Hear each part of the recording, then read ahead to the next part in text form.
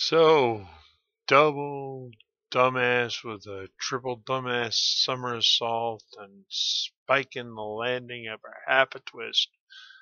Triple dumbass on me.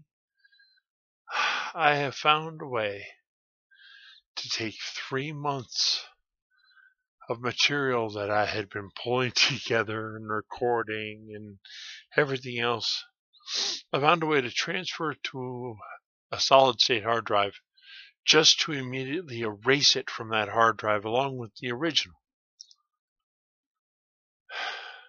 And I was stone cold sober, mind you. I cannot believe the mighty strength of stupidity I just smote myself with. As I was going to start having a schedule putting something out every day. That way I could upload a couple of days worth of videos, set them to go live at the right times, and I could spend time recording more videos and editing them up and having a, yeah, a proper chain so I could start having a five to seven day production schedule and you know only working generally on the weekdays so that I could have my weekends to spend with my girl and all I'd have to do is auto set up to programs, shorts, 20 minute shorts, uh, 10 minute shorts, 8 minute shorts, whatever I ended up posting, would just be up for that day when it was popped out. You know, ding! And now everybody can see it. Goes live when the timer goes off.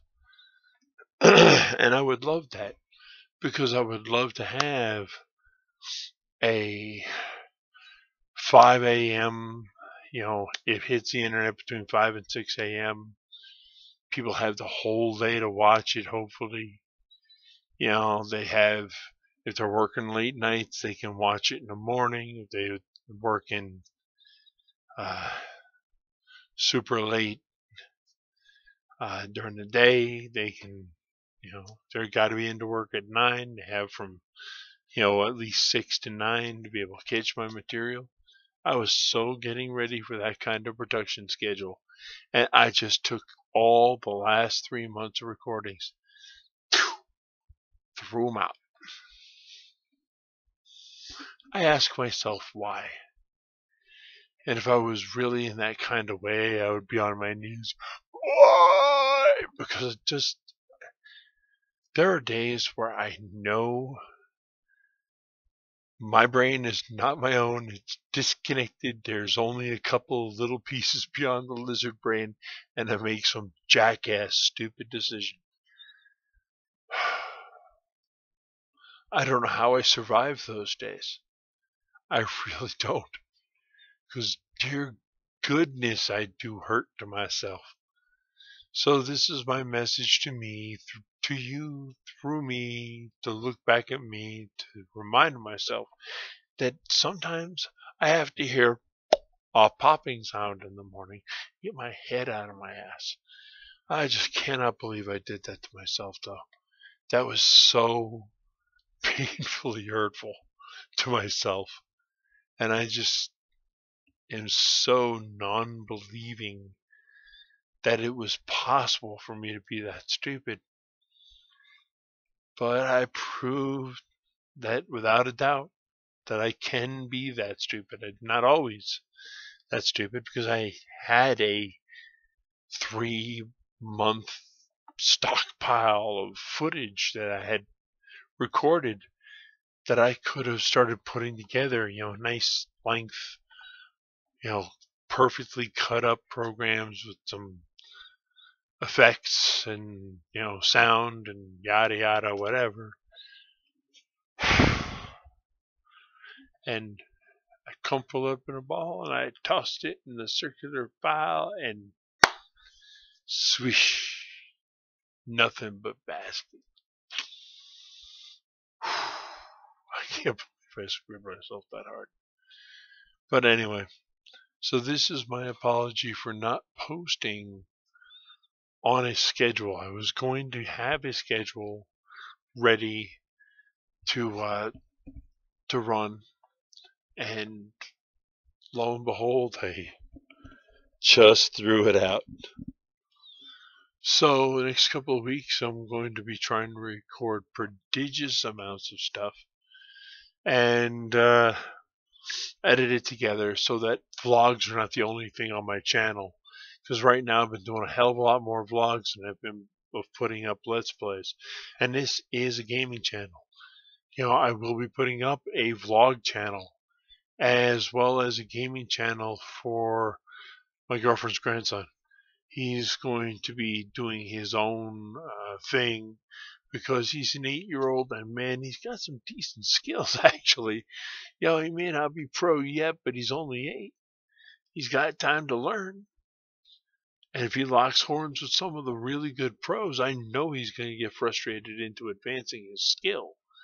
You know, that's what I keep telling him. You're not, te- your skills are not tested by below mediocre playing because when you got people that are just skating through the game, that you know, really high deaths, really low on the kills, those people, and unfortunately, since I've had six strokes, I one of them myself.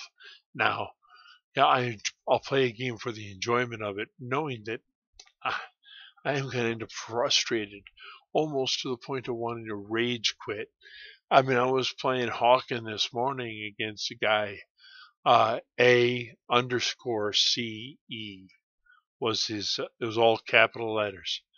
So Ace, but you know, he had an underscore in there between the A and the C. And man, did that person like, like almost cause me an aneurysm this morning when he was racking up kill after kill. And sometimes well, actually several times in his 15 kill run. That made it all the way to the end. That 15 kill run was amazing. Just blasted amazing. And I think I had more than three deaths in that game against him. Oh, was it frustrating to a core.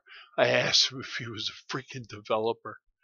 Because, you know, only generally the developers have like the uber skill with the game. Why? Because they've played it since its infancy. They've, you know, formed it up. They know the uh, and understand the the tomfoolery they can pull off and still stay in the rules.